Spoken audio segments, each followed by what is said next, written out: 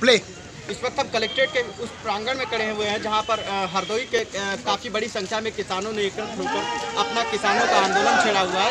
UP में भी अब किसानों के, अब किसान आंदोलन की आग जो है, वो धीरे धीरे पनप रही है, बढ़ रही है। और यूपी में आज पहला दिन है, जिसके तहत भारत बंदी के तहत इन लोगों ने आंदोलन छेड़ा हुआ है।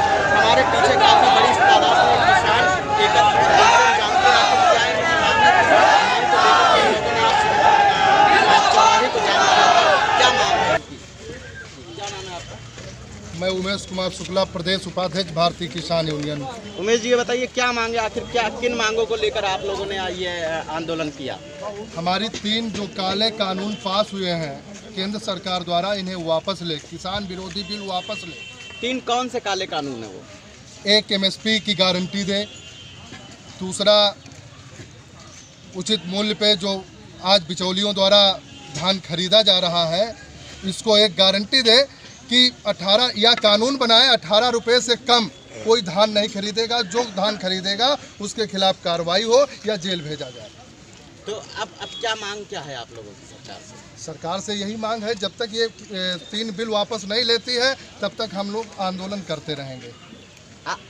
और लोगों से भी हम जानेंगे आखिर क्या क्या मांग है उनकी और किस मांग को लेकर के इन लोगों ने आज इतना बड़ा आंदोलन छेड़ा। आप बताइए। रावेंद्र सिंह चौहान मंडल अध्यक्ष भारतीय किसान यूनियन राष्ट्रीयतावादी क्या क्या मांग है? क्या किस बात को लेकर के आप लोगों ने सिनेमा चौराहा दिल्ली में जो धरना चल रहा है किसानों का पूरे भारतवर्ष का किसान दिल्ली पहुँच चुका है और उनकी ये मांग है कि जो तीन कृषि विरोधी किसान विरोधी काले कानून जो लाए गए हैं अभी हाल में उनको वापस लिया जाए मूल रूप से। सरकार इस बात पे सहमत भी हुई कि हम संशोधन करें, लेकिन किसानों का ये कहना है कि उसमें जब कुछ अच्छा होता, कुछ खराब होता तो आप संशोधन करते।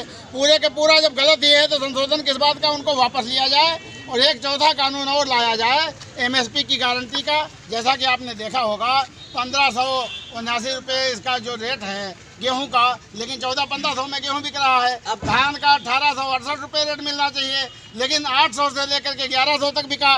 ये किसान को गारंटी है ही नहीं कि उसको जो सरकार तय करती है, जब समर्थन मूल्य सरकार तय करती है, समर्थन मूल्य दिलवाने की भी तो ज़िम्मेदारी सरकार की ही बनती है। लेकिन सरकार ने ऐसा कोई कानून नहीं लाया। जो कानून लाई है, उसमें भी इसका कोई ज़िक्र नहीं है कि एमएसपी पे खरीदा जाएगा। हमारी ये मांग है, किसानों की ये मांग है कि एमएसपी का गारंटी का कानून दिया जाए। और यदि एमएसपी से नीचे कोई खरीद फरोख्त होती है, किसी भी मंडी में भारतवर्ष के तो उस पर अपराध घोषित किया जाए।